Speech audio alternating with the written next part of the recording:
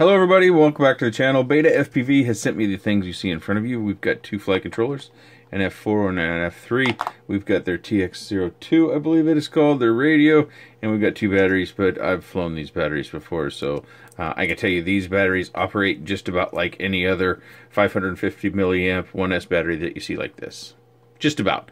Uh, there's a few that are out there that aren't very good. There's a few that are just a touch better, but that really depends on your care. And I tend to abuse my batteries, and these have held up just fine. So uh, I won't be talking much more about these batteries. If you're looking for something like this, these will work out fine. Uh, they're not the worst, and they're probably not the best. Uh, this is what comes when you buy a King Kong radio uh, with your tiny whatever, your tiny 6, tiny 7, tiny 8. This is the radio that you typically get. I believe you can see right there on the front. King Kong. Uh, let's see. There's one difference, I think. I thought. No, I'm wrong. They both have the same uh, battery, proprietary battery in there. Um, and then they have these switches that you can set for different uh, protocols to connect different machines. Uh, as far as the construction goes, they, they feel the same. They're identical. Um, the sticks they remove off of the top of these just like they do on the other. Um, the lights are the same. Uh, you have a USB port down here at the bottom. Those are the same. We got an on-off switch. Those are the same. And I have flown this quite a bit in my coming for the uh, Tiny 6 review, and I can tell you as a pincher, um, at least with my hands and the dexterity and my fingers, this form factor does not work well for me. I think this is really going to be primarily for thumbers, or if you're a pincher that, that can adapt better than I can. Um, I, I, think it's a good starter, though. I, I, think if you can get a pick up a, a machine with this in it, I think it'll work fine for most people, especially people younger than myself. I, am not exactly young anymore, but people who grew up playing video games. Video games are something that started in my teens, um, but people who are used to doing this uh, will probably be more suited for it. Uh, and it does have an antenna that moves around a little bit so it gets out of its own way as well as your way and you have these uh, they're not necessarily rocker switches because they're not connected as you can see there. I should use this one the one that was sent to me.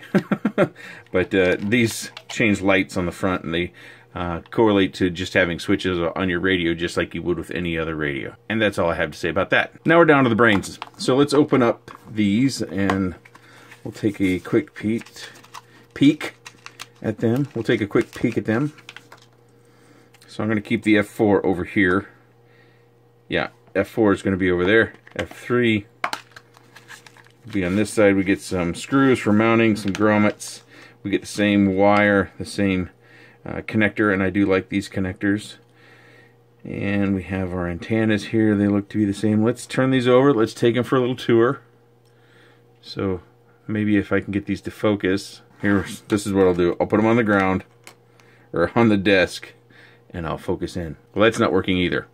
So, can I get it to focus this way?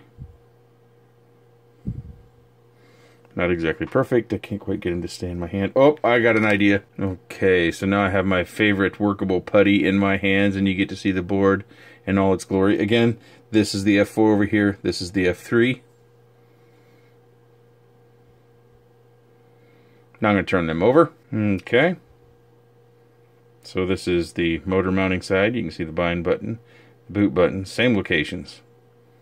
But you get a little bit of a look at the board layout. So we have these two boards, and they both have OSDs on them, so that's great. But this is an F4 demo. I don't know why they sent me the F3 demo, and I don't know why companies send stuff out and essentially in this form, I can't do anything with it, right? I, I you know, they're depending upon me having a frame. They're depending upon me having motors, props, uh, a canopy, a camera, and VTX all in one. They're they're depending upon me having all these other things that we need to fly these things. So I bought this off of eBay. and yes, you can buy beta FPV stuff right off of eBay. Let me keep those straight. So I'll be taking this F4 flight controller and putting it in here. Uh, you see it does come with motors with the plugs already in it. Uh, here you can take a little quick peek at this. This is for the 75 millimeter, their frame, and there's only one in there, and then it's got the the uh, battery mount. So if you want to, you can load this around, or you can do more traditional. And then we've got a canopy. I'll pull out out of my bin another camera all-in-one VTX, and I'll try to figure out which one I've used because I know everybody asks. I'm going to put this in there, and then we're going to go fly it and have some fun finally. Now we get down to the good bits. We're going to go for a fly. Uh, before we get too deep in this, I do have to talk here for about four minutes, so I don't know how well I'm going to be able to keep that up. But this has the uh, new 30 amp FETs on this, and so that's quite an upgrade compared to the previous version, the F3 version. I believe that had 5 or 6 amp FETs. One thing I did notice about this um, is that the motors did get quite hot, and what I suspect is that we're just pumping more juice to those motors than we have in the past.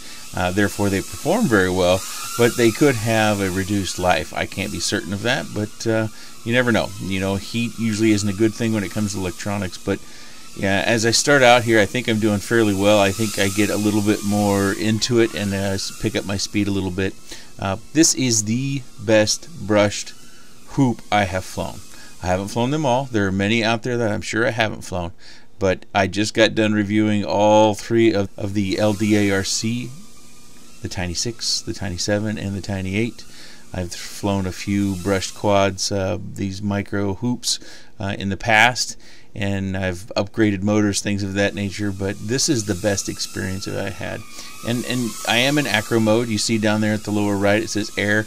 Usually, if you're in any sort of st stability mode, it will say uh, angle or horizon in this mode the flight controller isn't doing in any stabilization and this is my preferred way to fly uh, I spent uh, a lot of time working up to this to be able to fly inside and so I try to when I can fly acro inside the house I did fly this outside and uh, unfortunately I went to the playground where my girls swim at the YMCA uh, which is fairly colorful and a little bit visually interesting. Uh, but the wind was pretty bad, and uh, it, it blew me off course left and right. I spent most of my time just banging into stuff, not so much enjoying the flight. It was about 10 mile an hour wind that would gust up uh, well above that.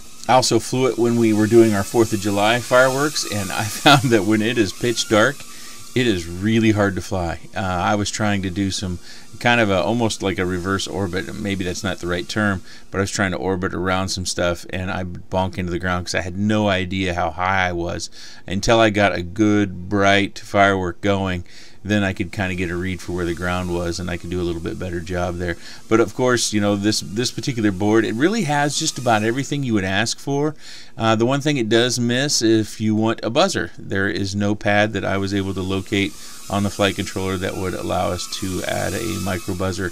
So if you were to fly this one in a larger space, where you could use that to help find it when it did go down. I think the other thing that they could add, and I think it's very, very limited, is uh, they call it meow mode in Tiny Whoop World, but I think it's uh, more appropriately known as turtle mode, where you can flip over, you reverse the spin of the motors. Um, I'm not certain too many flight controllers even offer that, but that's that's another feature we can one day look forward to. I believe King Kong does have their race version, which does that, but I, I can't say that for certain because that's one that I haven't flown myself. If you're into brushed whoops and you're looking to build, this is one that I would definitely take a really strong look at. Uh, you can do flips and rolls and things of that nature. It's just not really my style, especially when flying inside the house.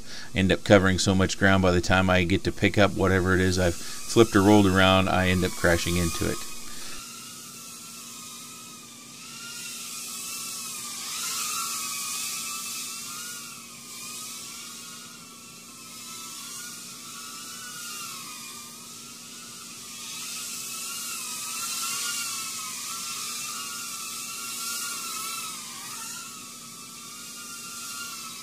Uh, there we are at low battery, going to come in for a quick landing. If you have any comments, questions, suggestions, or otherwise, please leave those in the section down below. I appreciate your time. And thanks for watching.